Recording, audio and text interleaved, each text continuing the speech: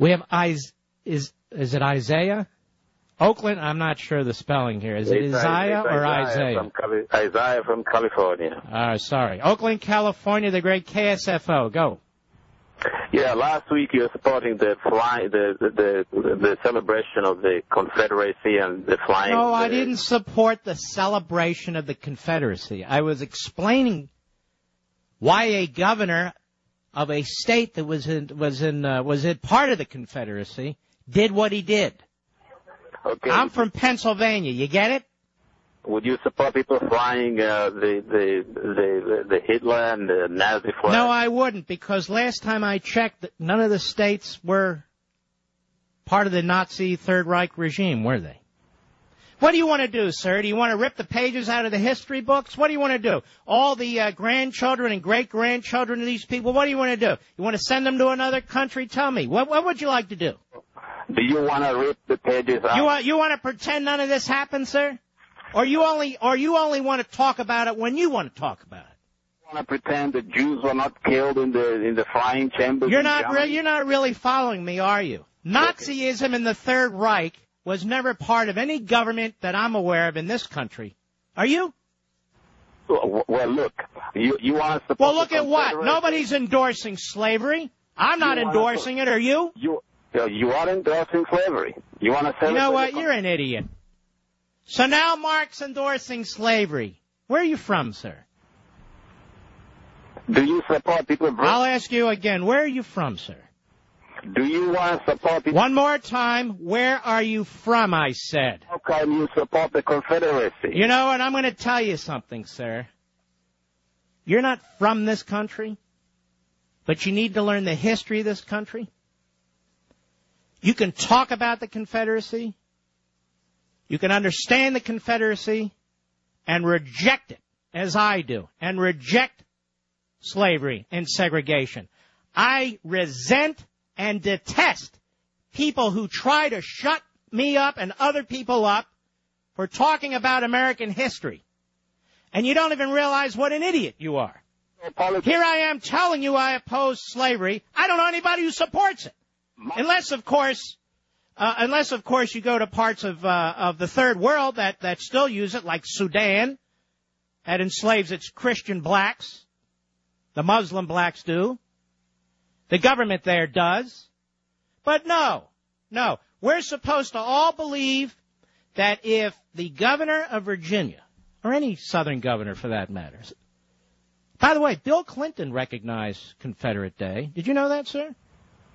The governor of Virginia celebrated I asked you, did you know that Bill Clinton endorsed that? And as a matter of fact, do you think he supported slavery? this country. Right, get out of here. I can't take it anymore. Mark, why are you in a foul mood? That's the example right there. That's the example right there. The guy puts words in my mouth and he wants me to be the caricature that he holds. And he would not tell me where he's from. I was curious to know where he's from. What's the problem? I'll tell you why he wouldn't tell me, because most people who come here, not all, escape these hellholes, these vicious, horrific regimes. His, these vicious, horrific regimes, and then they come here. And the vast majority of them enjoy this country, appreciate this country, embrace public debate, but some folks come here and they still trash us. Now, no, I'm not saying I don't fly the Confederate flag, but there are people whose great grandfathers fought in the Civil War. What are they supposed to do? Reject their great grandfather, reject their family? And many of these families never owned slaves, never supported slavery. Even though in the end the Confederacy did. Now, I'm willing to talk about it openly.